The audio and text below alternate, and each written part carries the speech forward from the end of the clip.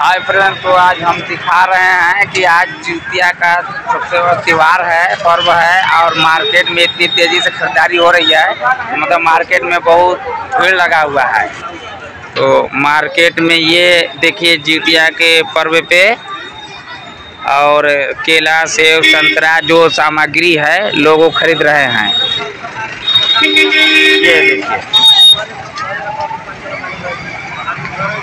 खरीदारी बहुत तेज़ी से चल रही है, क्योंकि आज जूतिया सेब संतरे की दुकान पे है तो कोई जूतिया गुआने के दुकान पे है। देखिए, खरीदारी हो रहा है यहाँ पे। और देखिए, इस समय हम हैं, संकट मोचन तिराहा देखिए, सामने दिखाई दे रहा है, संकट मोचन तिराहा हम वहाँ पे खड़े होकर के आपको दिखा रहे हैं।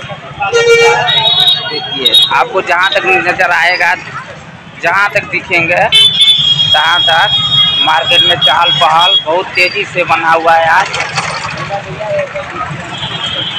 ये